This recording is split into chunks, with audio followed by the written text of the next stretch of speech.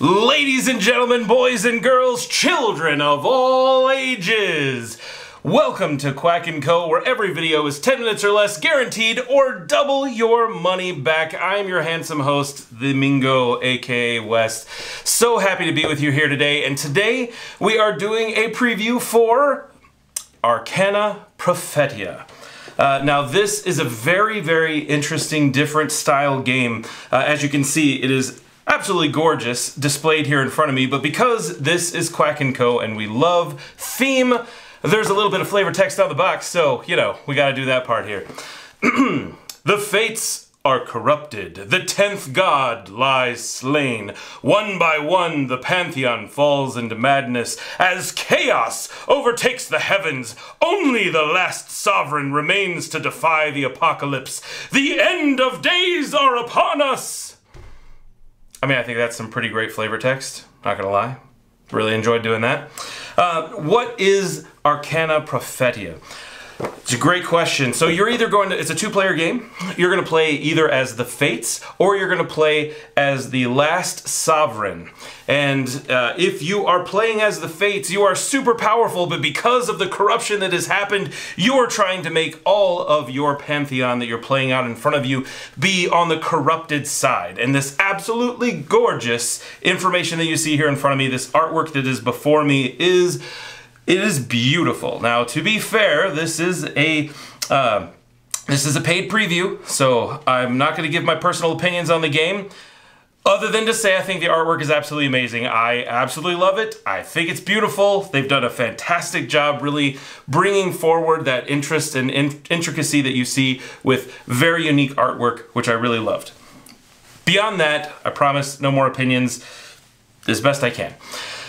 Here we go. So what we are here, if you are the Fates, you are a corrupted Fate, and that means that you're trying to get all of these Pantheon cards to be on their red corrupted side. If you are the last Sovereign, your power is a little bit less because you aren't quite as strong, so you're more powerful towards the end of the game, and you are trying to do your best to create uh, as many opportunities for the uh, uh, your cards to be the sanctified side. In other words, the uncorrupted, the beautiful, the light, uh, the powerful.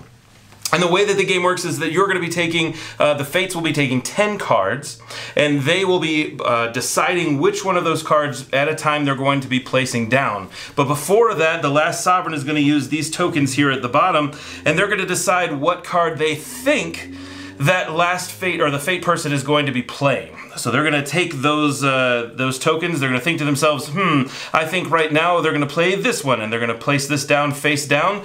The uh, the fates are to take their card, and they're to say, "I'm to play a blank, whatever it is. If it happens to be a seven, congratulations, because we chose seven. So that means we matched, and that card will go down as the sanctified side. Now, if for some reason the uh, last sovereign didn't get that prediction correct then it will go down on the corrupted side and the fates will grow a little bit stronger perhaps.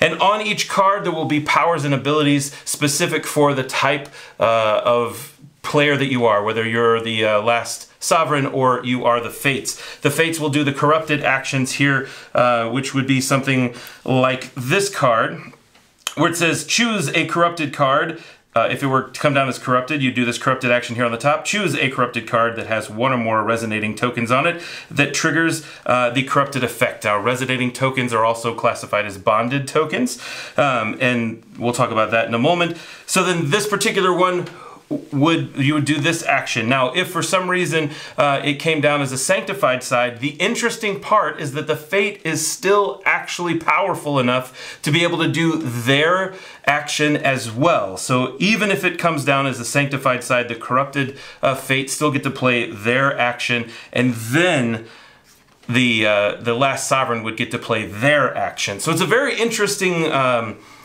uh, a very interesting rule set that comes out that way. It gives a very unique gameplay perspective uh, from it. Now, we've, uh, Shira and I have played this game probably about five or six times at this point just to kind of get a, a big feeling for it. There is a kind of a tutorial at the beginning of uh, this game where they give you just a portion of the game so you can kind of get used to how the bidding or the um, prediction mechanism works and the fate player gets used to putting their their cards down, uh, and you kind of go from there. And then they add two more unique things on top of it, uh, which would be these the intro the introduction of these face cards for the Fates, which would give them either celestial powers, cruel powers, uh, or capricious powers. So it would allow them to do one extra thing or have some other benefit that would happen towards the end of the game. Uh, one of the ones that we enjoyed playing with here uh, was the cruel cards, where uh, when you played something to the high court here, it came down uh, as being sanctified, and if you played anything to the lower court, it would always be uh, a corrupted card, regardless of whether or not the last sovereign got it correctly. Because during play, as you're playing this down, the fates will choose where that card goes out on the table here, doing based around some movement mechanics. One of the other interesting things that happens is that if you bond two cards together, in other words, they equal a total of 10, you can't flip those cards over anymore. And then after the end of each round, you'll place another bond token on top of them if they haven't been moved. And at the end of three rounds, if they've got two bond tokens on them, they, be they become permanently bonded. You can't move that card and you can't flip that card. Now, why would that actually matter, you're asking? Well, the reason for that is because at the end of the game, whoever has the most of their type of card facing forward will actually win the game. Uh, so if, you, if there are more corrupted cards showing, the Fates will win. If there are more sanctified cards showing, uh, the last Sovereign will win. Now, what did I find out about this game that made it uh, for if it would be for you. What are some of those things that you might like uh, if you're looking for a type of game that is a it is an interesting two-player platform, or there's an opportunity for one player uh, to be very very powerful at the beginning of the game, and the other player to feel less powerful at the end of the at the beginning of the game, but then at the very end of the game, that weaker player at the very beginning is now incredibly powerful at the end. Uh, this game might be for you. That bidding mechanism where you're trying to decide what they're what card they're going to be playing down. At the beginning of the game, I'm, I'm going to be honest, there's it's really hard to guess that card. But as you're playing and you're trying to figure out if they're going to try to make those tens to make the bonds happen so you can't flip stuff over, it becomes a little bit more obvious as to what they're probably going to play. And of course, at the very end, you're down to only one or two uh, tokens here, so you can kind of make a more educated guess as to what you think they're likely to play. And that last two or three rounds of the game is without saying anything that is going to give an opinion away. The last two or three rounds definitely adds a lot more excitement to the game because there is a really interesting things the interesting things that happen there towards the end of the game especially for uh, the the last sovereign.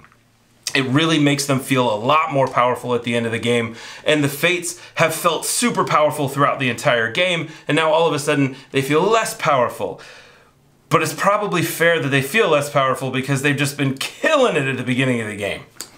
Um, so that's the interesting part uh, for that particular option now, as far as does this game not work for you? Well, obviously, if this isn't a, if you don't want a two-player game, eh, this game isn't going to be for you because it is definitely a two-player game, uh, and it's not a game that you could really play solo. At least not that I could tell, uh, at least in any way that is a traditional solo experience.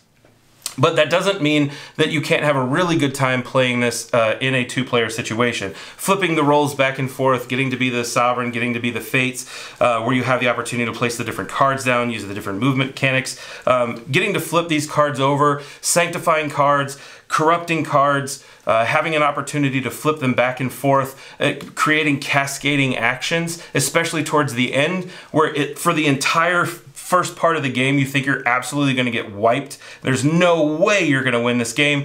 And then to come from behind and be able to sneak that victory out at the end using smart play and tactics, uh, this game could definitely be for you if that's the type of thing that you're into.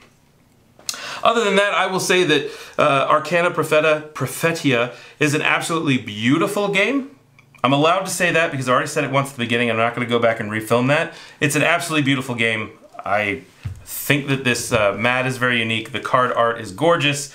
Uh, and if this is something that tickles your fancy, please go check them out on Kickstarter. The link will be in the description down below. Thank you so much. And remember, less time watching means more time playing. Have a great day.